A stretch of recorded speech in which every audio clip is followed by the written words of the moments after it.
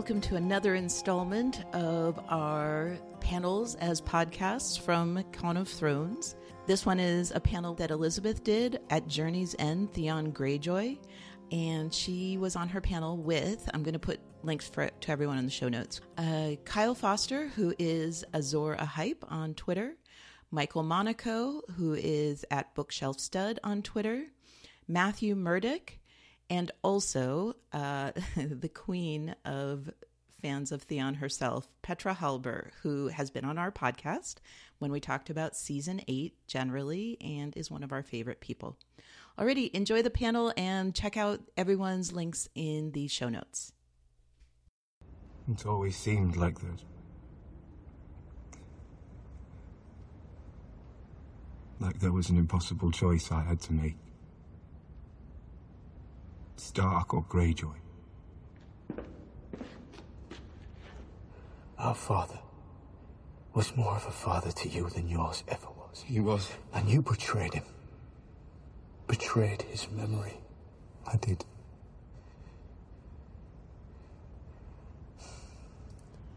But you never lost him. He's a part of you. Just like he's a part of me. For the things I've done. It's not my place to forgive you for all of it. But what I can forgive, I do.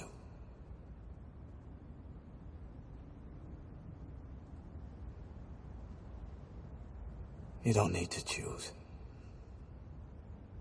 You're a Greyjoy. And you're a Stark.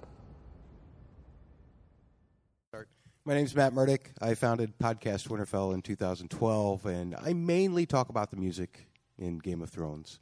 Uh, you can check out all of those podcasts, and I am really pleased. Petra is Petra, Petra is going to be on the uh, panel with me on Sunday, talking about the music of Game of Thrones. That's going to be a lot of fun, and uh, Theon is one of my very favorite characters, and I'll just leave it at that because I'm sure we'll get better definitions.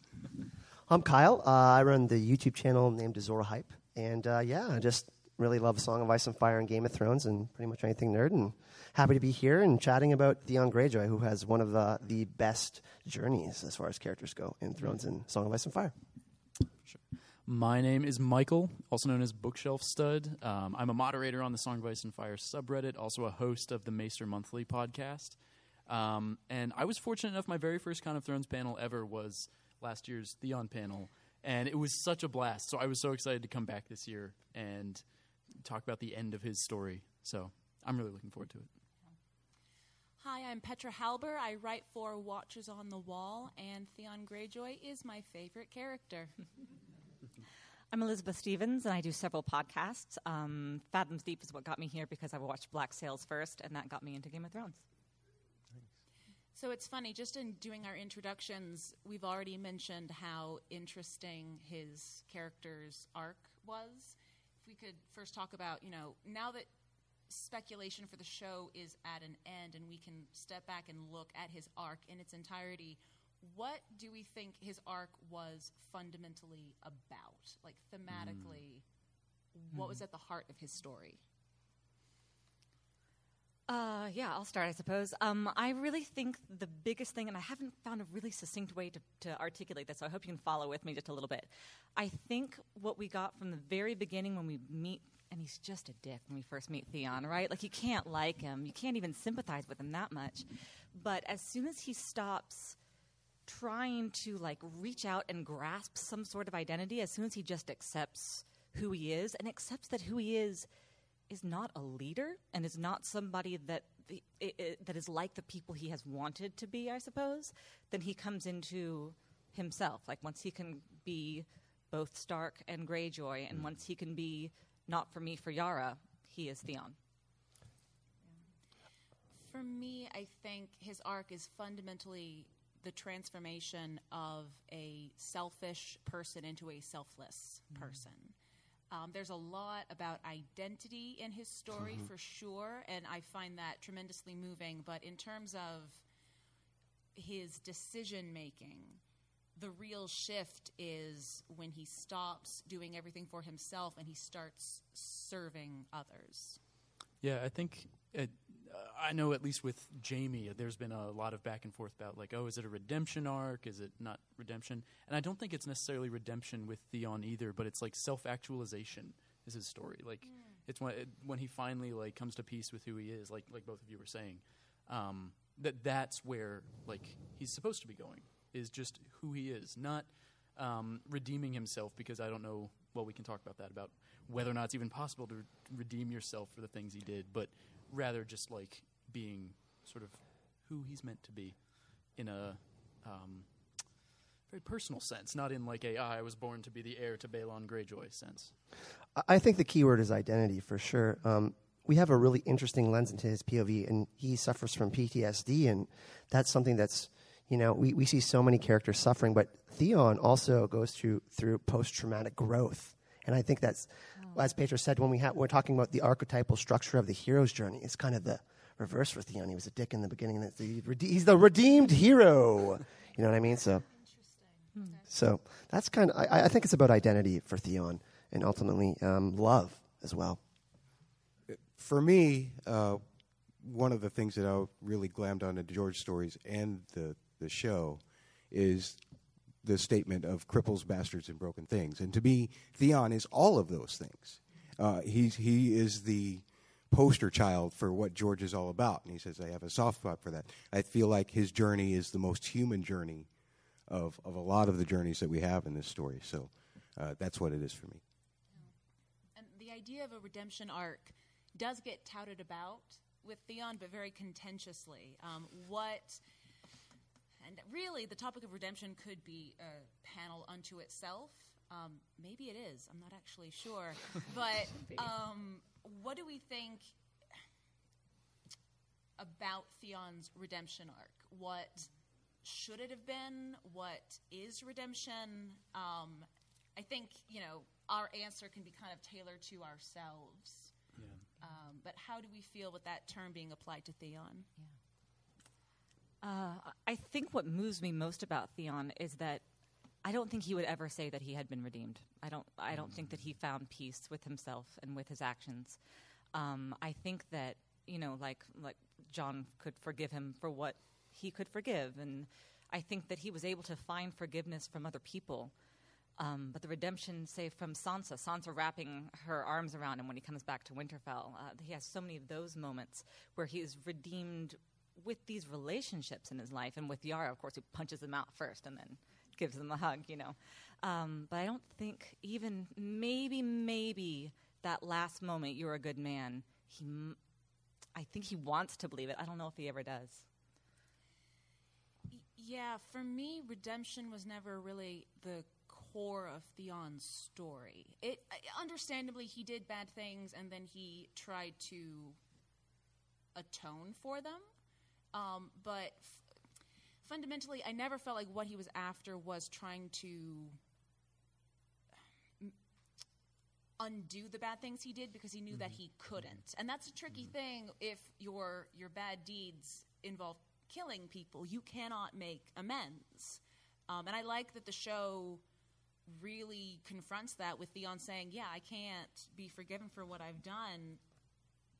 You, you, you, you can't find closure when you can't apologize to everyone you hurt. So for, for me, I find it a bit um, I see his redemption arc as being more of an inverted uh, parallel of the first half of his story. Because okay, so in my in my article, I mentioned the I think it's pronounced chiastic structure. I have it don't right know here. if that's how it's pronounced. Sorry, people who actually. I have a definition for a chiastic structure, by the way, Uh, The official one. the official one. Okay. Uh, characterized by chiasmus, having or uh, denoting a structure in which words are repeated in reverse order. A chiastic structure commonly found in Greek lit- literature or Greek tragedies in poetry. All right, so maybe my concept it's less a repetition of words, although Lord knows we have that plenty with Theon. Yeah. But um, but it's more for me. It's that the second half of his arc is a mirror of the first. In that first he was selfish and he wanted to take, and in the second half he wanted to give. and that's less about redemption to me and more about um, becoming, figuring out who he is and becoming selfless where he had been selfish. So you're a good man, Theon, was a culmination because he was trying to figure out how to be the right kind of person. And that's a little bit different than making it your life's journey to make amends for the bad things that you've de- done. I think it's a fine distinction, but I think it's an important one. No, I, I, I think that's a really good point. And something that that made me think of is his line, I think, to Maester Luwin in the end of season two, when Luwin's trying to give him all these ways out, right? And Theon's like, "No, I've gone, I've come too far to be anything else," or uh, something like that, right? And it almost seems like, you know, in, in that moment, he's gone too far as this monstrous person to be anything other than that. And in his final scenes in the show, he's gone too far as like a good person to be anything other than a good person. Hmm. If you know what I mean? Like you could almost see him saying that again because now he he, is, he keeps giving of himself to the Starks and keeps trying to protect them to make up for what he's done. And in the end, he literally can't do anything other than like charge at the Night King who's coming at Bran because that he's come too far to do anything other than like give of himself. But I think it is more. Um, I'm not going to hog the mic the whole time, I promise. but I think it is more than just making up to the Starks because I think a really important beat for him is that he saves Yara. Because there is this dual aspect of his Yeah. identity Yeah. that is important to his story. And so he was never accepted as a Greyjoy or a Stark. And in the end, he he has to rescue his Greyjoy family, and she validates his Greyjoy identity. Well, I, I like that Yeah. Damn it! No, no, no! I'm keeping this concise. he his his Greyjoy family needs him, so he helps her, and she mm-hmm. validates his Greyjoy identity by saying, "What is dead may never die." And then he says, "All right, I'm a Greyjoy, but I'm also a Stark, and my Stark family needs me now." Mm-hmm. So he goes, mm-hmm. and his Stark family um, validates his identity as a Stark with Sansa putting the pin on his sigil. So it's um, it's not just about making it up to the Starks. It's also the Greyjoy half of his identity is also really important. I, I honestly think it's about the power of choice. Because if you look at the conversation between Jon and Theon, it's like, what are you waiting for? Go do this for yourself. And I think we see that, and, and Martin does this so masterfully with all the POVs in the books. One of my favorite ones is the, the Ghost of Winterfell chapter. But I, I think if you look at Theon's arc, it's like, did, did he ever really feel like he was fully, truly in control of his life? I mean, he wasn't with his real family, and that's if we put ourselves in his shoes, how would we feel? So I think it ultimately comes down to the power of choice for Theon. And uh, in the end, I think he realized that he had to make a sacrifice to achieve the power of choice, essentially, for his life.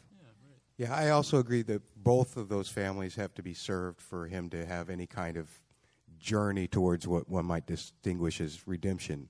Um, I love that you guys have brought up the whole thing about Jon Snow because, as a musician and as somebody who looks at the music, the only time that the "What Is Dead May Ever Die" music was transformed from a minor sounding piece, which is usually sad or whatever, uh, to a major sounding piece, which is happy or hopeful, is right after he shouts for Yara, and and they're all they're all coming to him, uh, you know, and, and joining in on the on the fun, and so uh, and getting ready to go save her. So I, I felt like that was the moment for me for Theon's journey in the television show where that's the maximum place where Theon can be. And then in order to fu- fulfill it on both sides, then he had to do what he did in season 8. Yeah, I sort of see his character arc as ultimately culminating at the end of season seven. All Yeah. the stuff in season eight for me is is frosting, but for y- not for me. For Yara was Theon self actualizing. I totally agree. I remember thinking when I watched that scene that he was taking such a stark action in such a Greyjoy way. and it was just really beautiful. He had just had that conversation with Jon that you can be both. And then he says, okay, I'm going to go and get my sister back. And how I'm going to do it is by, you know, charging down to this beach and slaughtering a guy because that's the other side of me, you know. It was but pretty also the way he mm-hmm. does it is by like technically he rises again, but not necessarily harder and stronger, but bloodier and a little like woozier every time. Hmm. Yeah. Which is a mm-hmm. distinctly Theon thing. Like Theon never mm-hmm. looks cool when he does anything, That's Yeah. very good. true. and I that's a large part of why I love him. Yep. But he he gets the job done, but in the least romantic looking way imaginable. well, and I think that's interesting too. Like we, the audience, kind of know that Theon, as much as we love him, is like a like he's not one of the big five or six characters. You know, he's not like Bran, Dany, Tyrion, Jon, Sansa. Like he's not in that upper echelon. He's like one removed from that. And so I feel like his story is almost about him realizing that, being like, "Oh, Yes. I'm not a main character. I'm here to support the main characters." Um, which you know, I, I don't know. Maybe that's too meta, but uh, I, lo- I love when you say meta, by the way.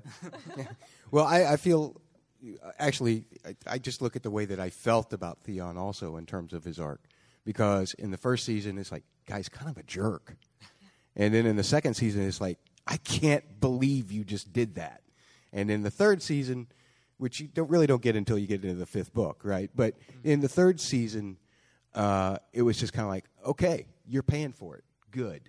I honestly felt that way.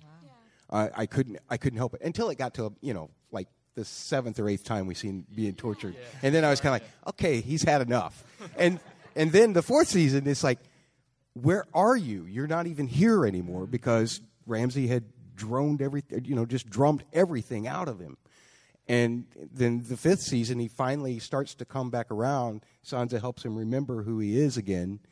Uh, the sixth season is the beginning of him making up for everything. So. The one thing that's interesting too is we see le- like we saw a lot more of what happens to Theon in the show than in the books. Like Theon kind of disappears for a while. So, um, and and of course Alfie Allen, cred to Alfie for just emoting everything Oh, so did it. excellently. yeah, Theon. That's what- Patricia's like, oh my god, I love Alfie.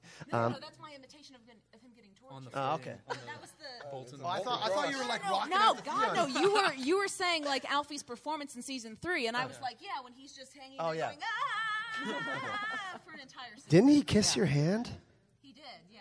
Wow, I'm jealous. It was a good moment. Yeah, uh, that's that's a question I wanted to ask you guys though. Um, is like experiencing Theon's uh, torture. You, I mean, you were saying you you watch that and you're like, okay, yeah, he had that coming, but maybe not that. Um, at what point do you did you stop feeling like he deserved it and start feeling like he deserved sympathy, or did you ever reach that point? Like, I know a lot of people really vary, and because mm-hmm. I think there are still some people who are like, yeah, no, Theon, Theon should be dead. Like, they should have kept torturing him, which ah. I would disagree with. But mm-hmm. like, I think it's something that people land very differently on. Um, oh, this is a tricky one. I don't like that kind of punishment in general. So, especially since he was already so tortured within himself, like it'd be one thing if he if he was like Cersei, never look back. But he was never that way. He always was conflicted about what he had done. He always had a lot of guilt, and so it was. Um, in some ways, almost self fulfilling like that. I- feel like he de- he deserved to be Reek, which is why he accepted that title and that role, I think, as quickly as he did, and why he was broken so quickly. Um, so I, I suppose my shorter answer is that it wasn't long at all for me. It was just a few seconds. I was like, okay, I, I want you to. I, I I just want to add this. If I had to ask you a question of what do you think is worse, not being accepted by your father or loved by your family or being tortured, I think that would be ultimately like, I felt like that was worse torture. Uh, him not feeling love in his life. And, you know, when we're seeing teach, Theon get tortured, it's like, okay, like we're, absor- we're, we're seeing Theon get tortured, but for him, it's like, that's not even that bad. But see, he wants to be loved so badly, right? Yeah, it's like you were saying, like it's that validation for him. Like, oh yeah, I am a bad person. I deserve mm-hmm. this. Like, Yeah. of course, no one would love me Yeah. So I almost think like deeply. the the, lo- the love that he's yearning for is that that's the worst torture for him. I don't know. That's kind of mm-hmm. I mean how I see it. Interesting. The, f- the first time I watched season three, I was confused because I was trying to go book to season, and I was hoping it was a one to one comparison. So I thought Theon was dead. So when he showed up, I was confused the entire time. So I didn't even have time to like take into account his arc. Um, however, going back, I I do enjoy. I really like watching reaction videos and mm-hmm. watching people gradually change their opinion of his torture because it is a mm. really interesting thing to get an audience to want to watch a character suffer and then to give them exactly what they want until they don't want it anymore. Mm. It's it's very much like um, Joffrey's death in that way. Like Joffrey's death is kind of the microcosm of that, where like by the end you're like, oh wow, that's just like he should be dead. Like he's really suffering. That's awful. Right. Even though he's Joffrey, I mean, you know. But so, I, I, it's similar Yeah. kind of. And, and, and, and all, and, all- Maybe I'm alone in feeling sympathy for Joffrey in his final moments. and also Theon witnessing what happened to Sansa, like Ramsay making him stand there, like Mm. that. Like his, that's also that's psychological. Like Theon suffers from very serious PTSD. Yes. So I, I mean, hey, that's and, and hence the reclaps that we had in season seven. You know, um, love, yeah. I mean, I think um, cer- certainly Sansa's wedding night was worse for her than Oh, yeah. for absolutely. Theon, I'm, I'm not. By the way, I agree with Petra. Just saying. so don't kill me. Whenever Sansa's wedding night comes up, I'm just like, yeah. Thanks for saving me. change this. Yeah, yeah. Um, but um, I, I like that his his motivation for s- sort of uh, for killing Myranda, for him finally overcoming Reek, is when Myranda threatens to do to Sansa what Ramsay did to him. Because Yeah. specifically, what he what he tells Sansa is. Um, do what he says or else he'll hurt you, which sounds really insensitive provided the situation that she's in. But what he means is he will limit himself to beating and raping you. He won't flay you or mutilate you, which in his mind is worse. We don't have to agree with that, but that is his his standpoint. And then Myranda says, "Oh no, our plan has always been to flay and mutilate you once you've given him a son or two. And you can see the little like shattered light bulb above Theon's head start to kind of flicker back on mm. when that happens. And that's what finally gets him to change his mind. He realizes, "Oh, I can't actually protect her. I thought I was, and I mm-hmm. can't." Mm-hmm. Mm. That that his way of protecting by like retreating and encouraging her to like just retreat in, in herself and like hide Yeah. from it. That that wouldn't work anymore. You can't escape Ramsay, so avoid pain. right. hmm And it turns out she can't avoid pain, and that's when the situation changes. You know, there's something interesting um, about that scene too, because it, it almost kind of calls back to when Sansa is standing with Joffrey on the battlements, looking at Ned's head, right? And she's she's like walking to push him off, and then the Hound stops her and is like, "No, just you know, like That's right. yeah, conceal, don't feel." and oh, like, oh. um, Whoa, And, blowing my mind. you know, but but th- this comparison between like Theon and Sandor as protectors for Sansa, and it's almost like this scene is an answer to that one, where Theon as the protector is like, no, wait a second, I can just I can end this right now and just push that person, and then we're done. Like mm. instead of prolonging it and just trying to. Oh, it's it's interesting that you say that because in the hero's journey, because in the hero's journey, there's mentors for each character. Yeah, and it's like, who do we think of that for Theon? Like, what would what would you say? Ooh, that's a good I don't think Theon has a mentor. I think that's a large part of his problem. So I think Yeah. That's right. that's why his arc is so interesting. I think. The ghost in Ned, yeah, yeah. Okay, this whole Ned oh, was Theon's real father really pisses me off. I, Ned did his best, but at the end of the day, he was still raising a child that he knew he might have to kill one day, which is not explicitly stated in the show, which is why I think a lot of show only viewers or show only fans um, hate Theon more, or they say that he was ungrateful to the Starks for loving him. And I'm like, no. Ned would have had to cut off Theon's head had Balon rebelled again. You don't grow up with a person as your when your father figure might have to kill you one day. You are not set up for a healthy adulthood. It's very uh, Dread Pirate Roberts. yeah, but Good night, like- Theon. Might have to kill you in the morning. Exactly, yes. but in a, at, in a at the same very time, one of the more unknown- effective. Michael Slowclaw. Dread Pirate Theon. At the, at the same time, I think one of the more effective means of torture of Theon was that those opening things. Not where Ramsay was having physical pain given to him, but letting him think that he escaped, letting him bring him back, trying to draw those things out of him. Yeah. Uh, I think as TV show only people, because I hadn't read the fifth book by that time yet either. I, I didn't read the fifth book until between seasons four and five. Anyway, uh, I was under the impression that oh, this is this is good. Maybe Theon can come back because of this thought. Sure. Can, can I just just tell like a little go funny anecdote? Or it's not an anecdote; it's just a, an opinion that I had once. That's an anecdote. That's not an anecdote. by definition. Hot take incoming.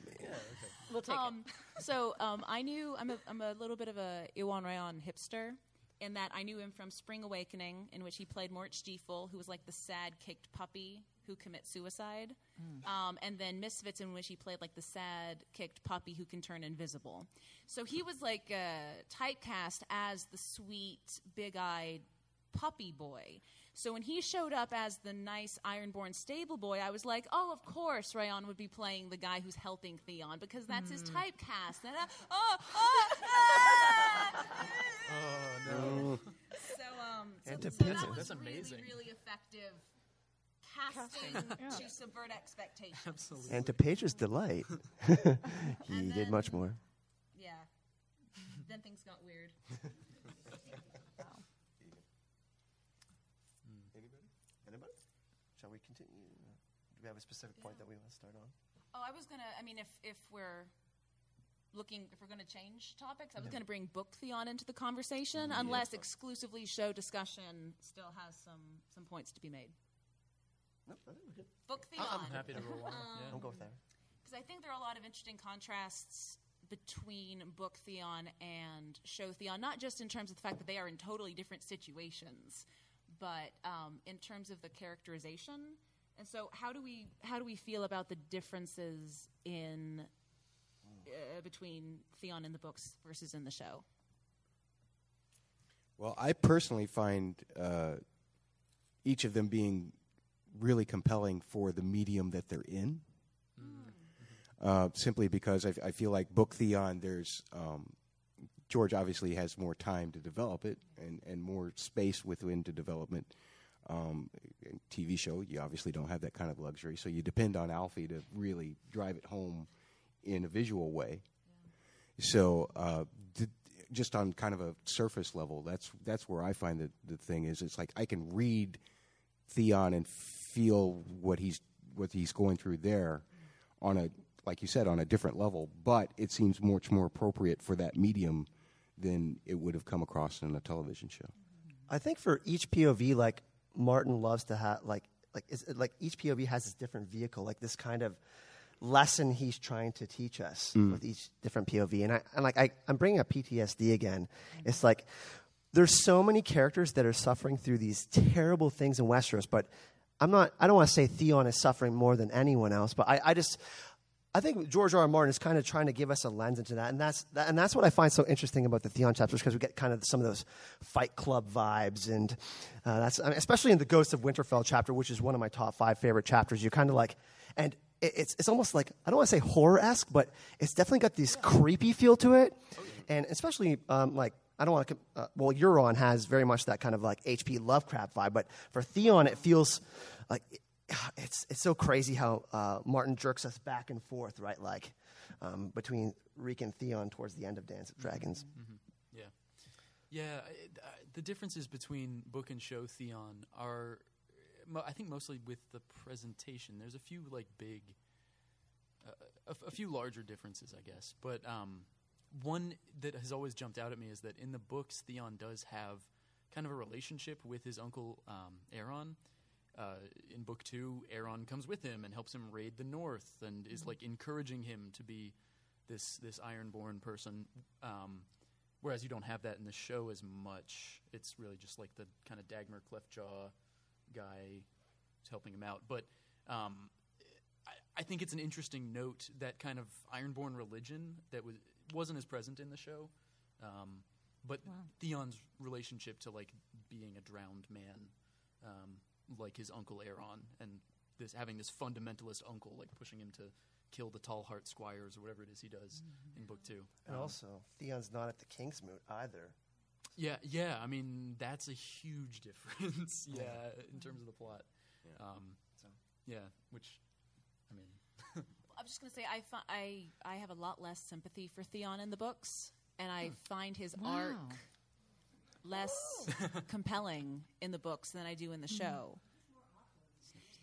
He's he's much he is a rapist. He's much worse in the books, and yet he's less sorry for it afterwards, mm-hmm. which I mm-hmm. I find very interesting. And so I've really appreciated in the show that they they shifted that and they really spent some time meditating on Theon's regret. Yeah. And, and the fact that he says, I can't be forgiven.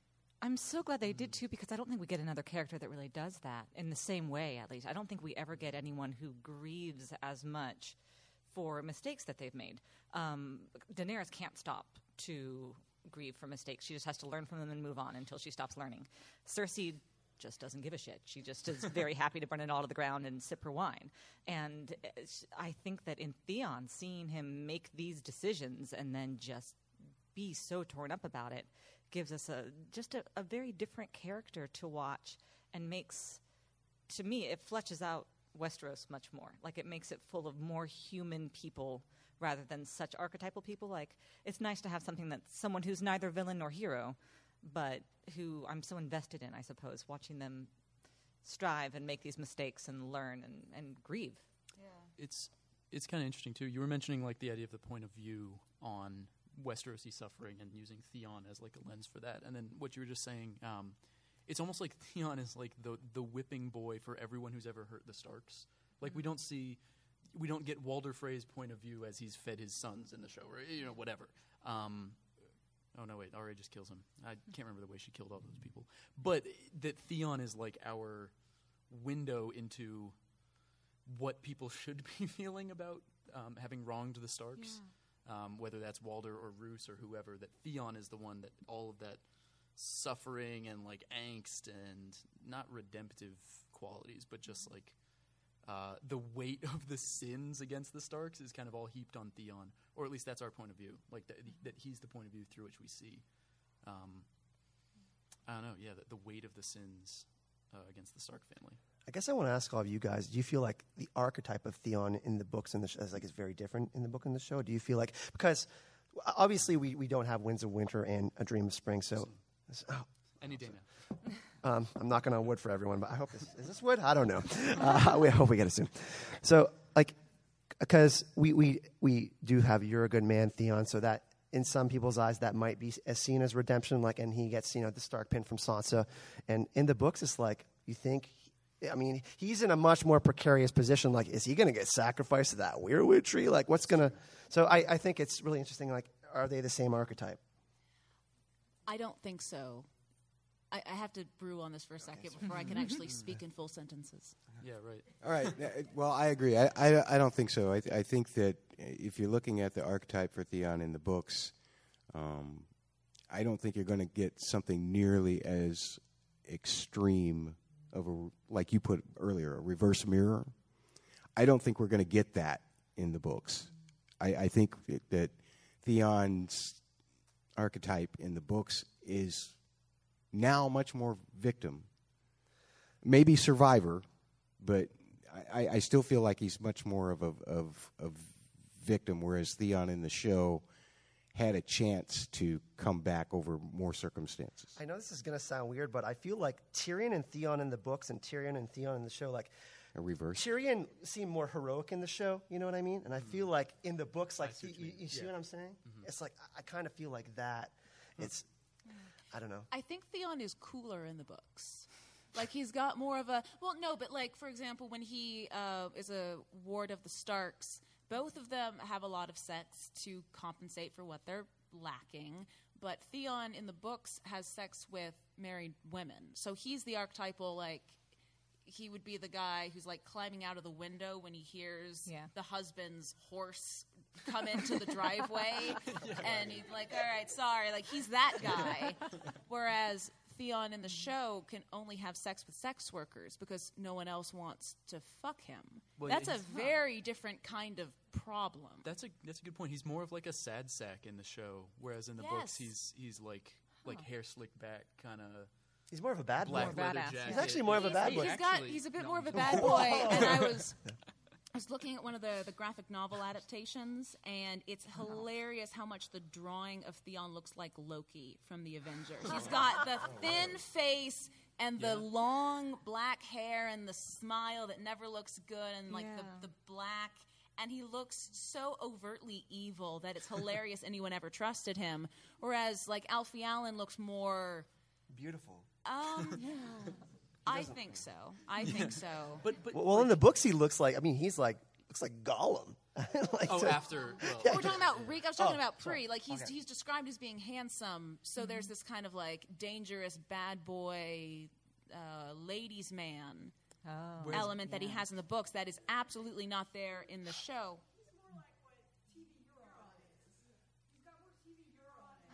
Whoa. Now I can't. I mean, a little I can't bit. unsee that now. Yeah, he is. Gallivant, gallivanting.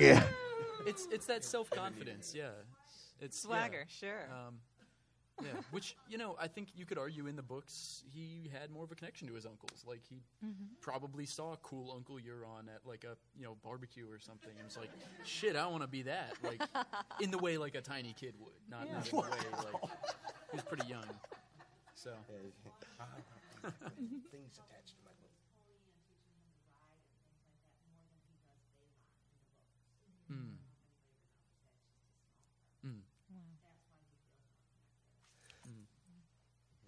Also, like the merging of characters in the show too. Like they like plot line.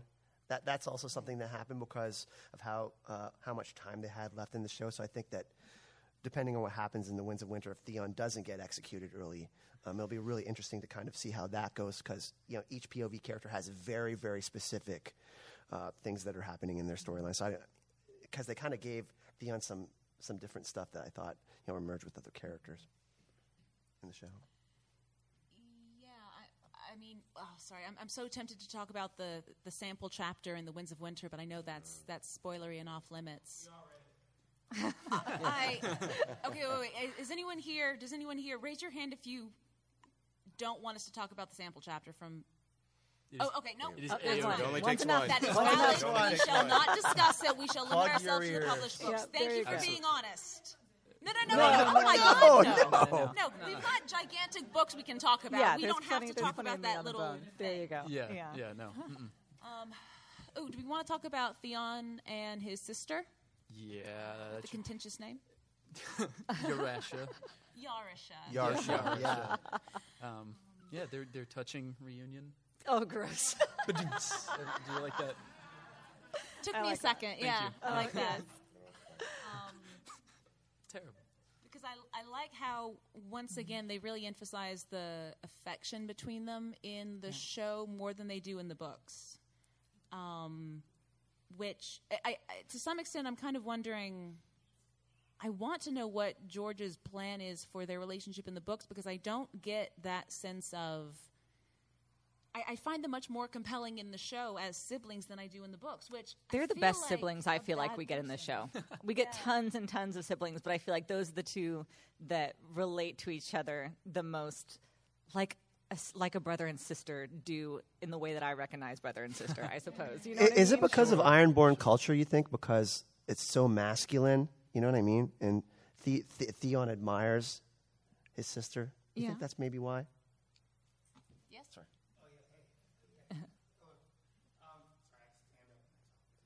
That's fine. You're awesome. It's about Theon, right? It's not about Yara, but I want to talk about Yara real quick. And one uh, big difference I thought from the show, from the books, that I didn't like really much was that they made Yara um, a lesbian, and I thought it was cool that she was like heterosexual in the books because you know she didn't conform, and I just feel like I feel like when by making her a lesbian, just kind of fit in with, with a bunch of tropes and whatnot. But by making her heterosexual, she was just like, uh, you know, I'm a woman, I do my thing, but I still like. No, I, I mean I think that's a that's an opinion I've I've heard throughout the fandom Yeah. that people were That's interesting. Yeah. yeah. I don't um, think LGBT representation is great in either the books or the show. Um, I, I definitely like that we got to see her flirt with Ellaria and Daenerys, but Very I fun. wouldn't go out on a limb and declare Yara fantastic bisexual representation. Um, Yeah, yeah. It Yeah. it is interesting though the way in the show like um, she and she plays off of Theon particularly in season six and seven I guess. Um, a- because she is definitely like performing Ironborn masculinity in a way that he just he, he can't and won't.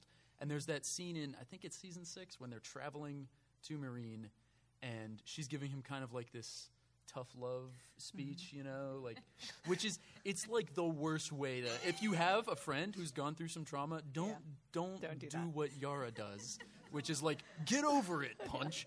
But it's also like it, mm-hmm. it's I, it, it's her showing affection in this way that like Yeah. she doesn't know another way to show affection to him, but she's really trying. Well, and I love when she. Oh yeah. Yes.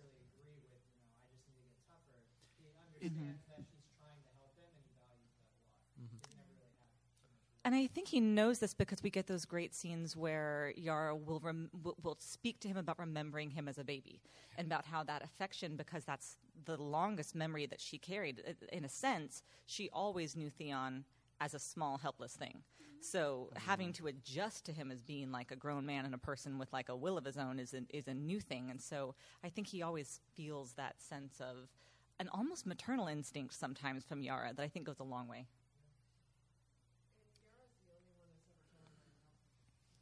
Ooh. Yeah. I mean, it's not like Balon said that. So Wow. You make a great point about Theon's mother, and we have that with so many different characters, like how mothers and fathers affect their kids, Yeah. right? Like love. It's just Theon doesn't feel that. Yeah, and I mean,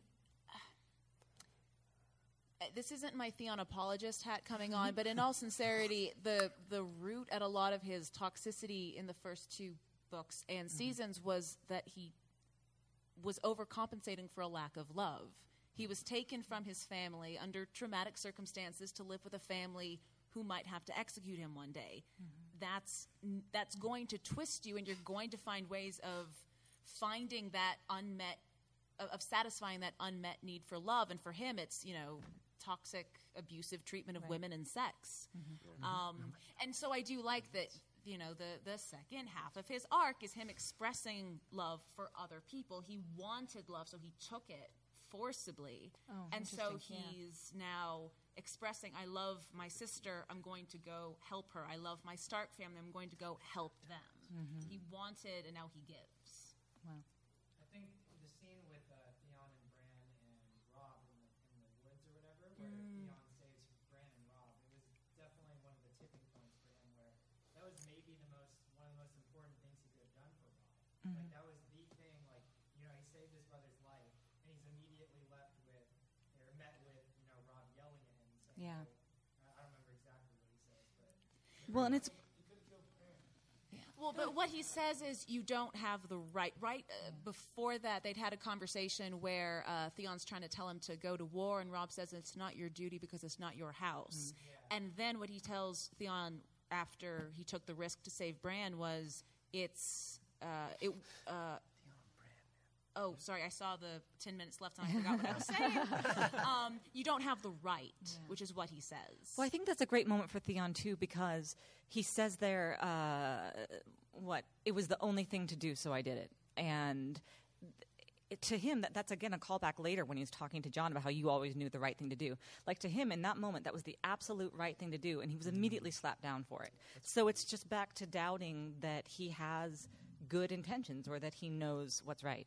And I like that that scene specifically was evoked again in Stormborn when he when his sister is being held by their uncle, and then again when he has to defend Bran from the Night King.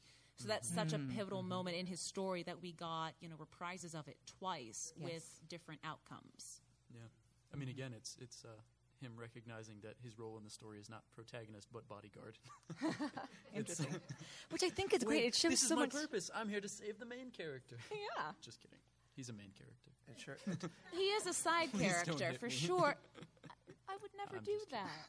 Of course not. I think that is though a really interesting thing about Theon because like we're always told or or we think about, you know, well everyone's the hero of their own story. Mm-hmm. But Theon isn't. And I think that's really interesting. Like I can't think of many times that like he does not or at least after a while at first he's trying to do that very much. But by the time we get to the end, he ha- has like set that mantle aside and has taken up something more like some of, some of the characters like I suppose Jorah is another example of somebody who hmm. is in a position like that that considers themselves even more than Tyrion, because I think that Tyrion would have more power if he thought he could get it. But Jorah wouldn't. I don't think, and I think that that's where Theon was going. Like, had he been able to continue that arc that they were doing, like he would have been to Yara something a true advisor and a true like just somebody very noble to have by your side. I, I, I'm sorry.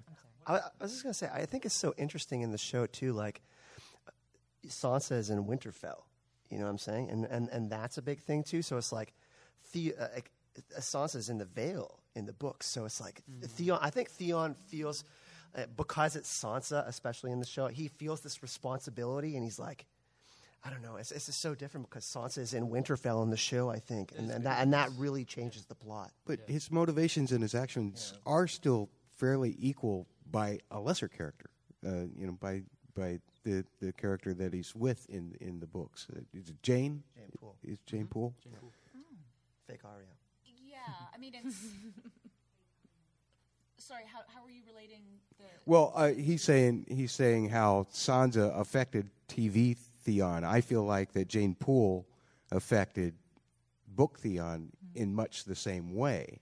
See, um, this is one of those like really, it's one of those controversial story storylines where when I kind of like weigh in, I always feel like I'm like I, want to be delicate, but at the same time, um, Theon never seemed to care about Jeyne in the books. I think he was kind of disturbed by the bruises, but he didn't save her because he cared about her. He saved her because uh, the washerwomen were kind of twisting his arm behind his back.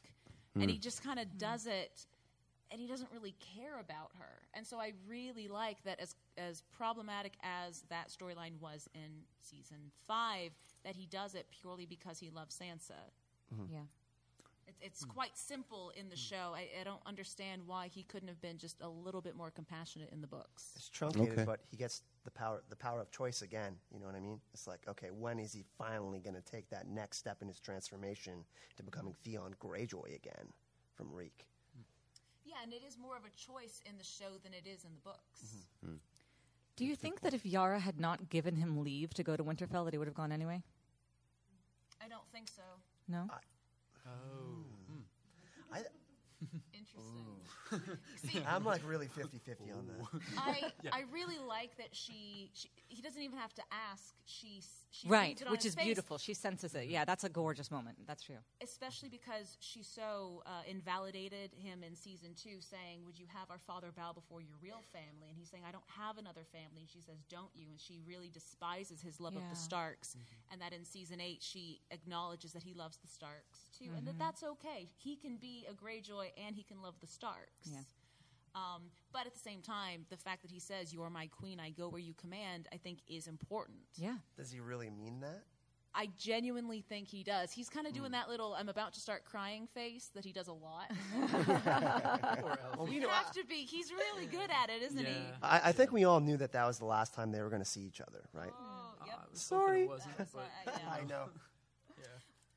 We've got five minutes left. Maybe we could um, talk about how we wish his story, our ideal ending for Theon, be it in the books or the show. Like, if we could come up with it ourselves, how would his story have ended?